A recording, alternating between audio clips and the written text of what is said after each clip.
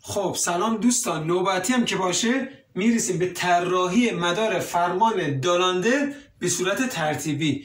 یعنی اینکه ما اول الکتروموتور دالاندر دو سرعته رو به صورت دور کند یا سرعت کم راه اندازی بکنیم و بعد از اینکه این اتفاق افتاد شروع کرد به حرکت کردن. بعد بیام یه استارت جدید رو بزنیم. الکتروموتور با دور تند یا همون ستاره دوبل وارد مدار بشه. اگر برای اولین بار هستش که به کانال من سر می‌زنین بهتون بگم که این آموزش جلسه سی و دوم از طراحی مدار فرمان و قدرت است. یعنی سی و یک جلسه رو کامل بهتون آموزش دادیم.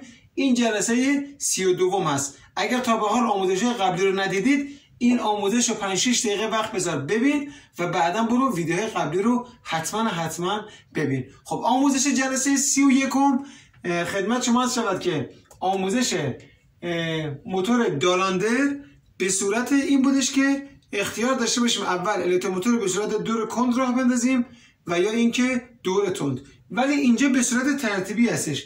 یعنی حتما باید ما توسط این رله شیشه ای که اینجا قرار دادیم حتما باید الکتروموتور با سرعت دور کند راه اندازی بشه. بعد هر موقع که تو حال کردی می‌تونی با دور تند ادامه کار بدی و و کار رو انجام بدی. حالا چی می‌خوایم؟ همونطوری که می‌دونید ما برای راه اندازی الکتروموتور دالاندر سه تا کنتاکتور داشتیم. اینجا می نویسم سه عدد کنتاکتور مدار قدرتش رو توی جلسه سیوم توضیح دادم. دو تا جلسه قبل برو حتما حتما ببین سه تا کنتاکتور می‌خواستم.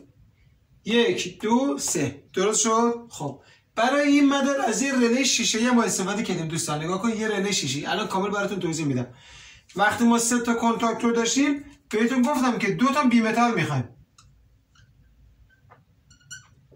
درست شد؟ اینم دو تا بی متال نگاه کن اینا. بی متال یک بی متال دو. خب. فاز نور 230 ولت 50 هرتز. یه دونه فاز انتخاب کردیم. میاد داخل فیوز. یک کلید مینیاتوری. میاد پایین. میاد داخل بی متال کنتاکتور سرعت کم یعنی یک. میاد داخل بی متال کنتاکتور یک ام. بعدش میاد کجا؟ بی متالی که میشینه زیر کجا؟ کنتاکتور خدمت شما عرض شود که کا سه. این دور تند است اینم دور کند. میشه زیر کنتاکتور K سه. بعد میاد پایین stop مرکزی رو داریم. این stop S1 هر موقع بخوایم الکتروموتور رو به صورت کامل خاموشش بکنیم میایم stop اصلی رو می‌زنیم. اگه ببینید مدار فرمان زیر این stop هست. استارت S2 رو داریم تیغه خود نگهدار رله شیشه ای داریم.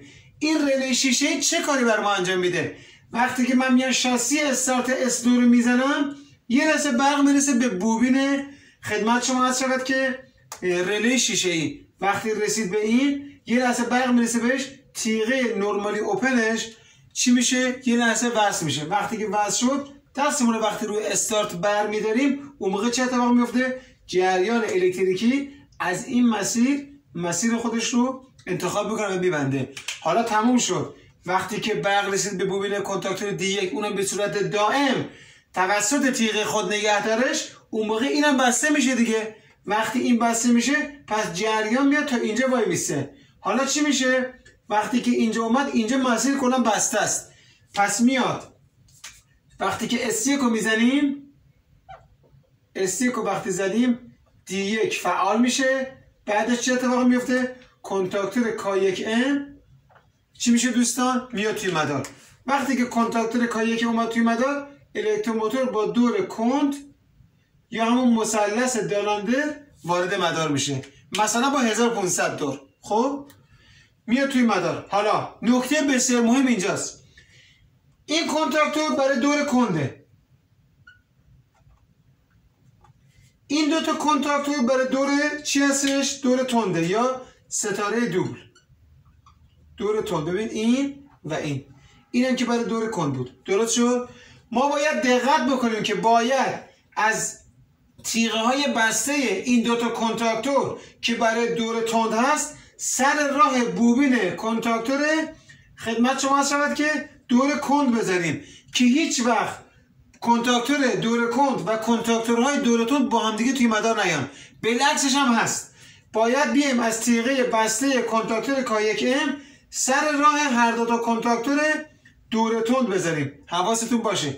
اینم به خاطر این هستش که یه موقع اگر خطای رخ داد این دوده هیچ موقع همزمان وارد مدار نشن. پس توجه کنید اینو. خب.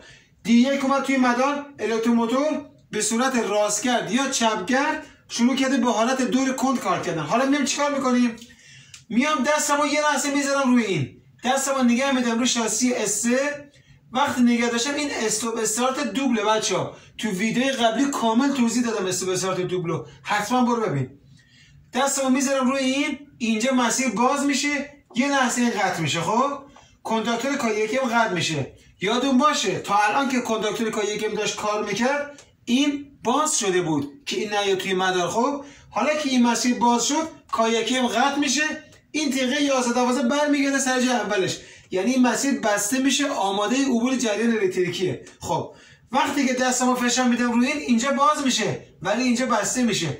یه لحظه جریان الکتریکی میاد میاد از اینجا عبور می‌کنه می‌رسه به این بوبین کنتاکتور همین که رسید به اینها تیغه خود نگهدار کنتاکتور کاسنم چی میشه؟ بسته میشه. حالا ما دستمون رو برمیداریم. دستمون که برداشته درست اینجا باز میمونه. ولی جریان الکتریکی مسیرش میاد از این طرف میبنده. به این شکل. تموم شد. الکتروموتور با دور تند میاد تو مدار. همین که ما تو مدار چون بوبین کنتاکتور بردار شده این دو تا تیغه دیگه باز میشه. دیگه دور کند به طور کامل با خیلی راحت از مدار چی میشه؟ خارج میشه. و الکتروموتور که قبلا با سرعت ما الان چیکار کردیم؟ اومدیم. S رو فشار دادیم. S رو که فشار دادیم کنتاکتور KM خاموش شد. یا قطع شد. کنتاکتور K دو M و K سه M چی شدن؟ وصل شدن. با دور تند. یا ستاره توپ. تموم شد. تموم شد. حالا چه اسمش می‌ذاریم ترتیبی؟ حتما توسط این ریله شیشه ای باید مجوز عبور جریان به بوبین کنتراکتور کایکم داده بشه. یعنی رک بهتون بگم. حتما باید الکتروموتور با دور کند راه بیفته تا بعدا بتونیم با دورتون راه بندازیم. پس این بوبین کنتراکتور دی یک و تیغایی که اینجا گذاشتیم چیکار می‌کنه؟ حالت ترتیبی رو به ما میده. یعنی تو تو این مدار نمی‌تونی شاسی رو بزنی که الکتروموتور با دور تند راه اندازی بشه بعد بریش رو دور کند. نکته مهم بهت بگم خیلی مهمه گوش بده. الکتروموتور وقتی رفت دور کند بعدش توسط S میبریش روی دور تند. حالا اگر خواستی بری دور کند دیگه حق نداری که کاری انجام بدی. یعنی اصلا شرایطی وجود نداره برای تو که بخوای بری دور کند. حتما با شاسی stop مرکزی رو بزنی. الکتروموتور وایسه. مجددا شاسی استو رو بزنی. کنتاکتور کایکم دورت کند راه بیفته و از دوباره ببریش رو دور تند یعنی از کند به تند می‌تونی ببری. ولی از تند به کند نمی‌تونی ببری. اصلا حق نداری. به خاطر اینکه به سیمبیچای الکتروموتور آسیب می‌رسه.